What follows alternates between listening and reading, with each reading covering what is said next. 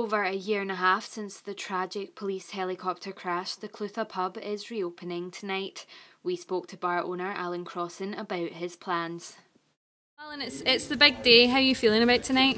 Uh, we've got mixed emotions about it, obviously, because of what happened, you know, but uh, hopefully, hopefully we can use it as a step in the right direction and that, to help the families get a wee bit closer on what's, what's happened, you know, so it may be a step forward.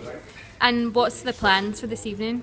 Uh, the plan is to uh, the families and fire emergency services and people like that in it around about half four. Uh, the First Minister, Nicola Sturgeon, is coming at five o'clock. We'll have a drink. Uh, we'll have a wee bit of thought about what happened and, and people who were injured and, and killed in the accident. And then we'll just take it from there. And is it a little bit bittersweet with, with what happened? Of course, it is, uh, it's very mixed emotions. And it will be an emotional night, there's no doubt about that. Are you excited to have the, the pub back open again? Yeah, yes and no. One, it's a step forward, you know, so we, we'll take it like that and see what happens.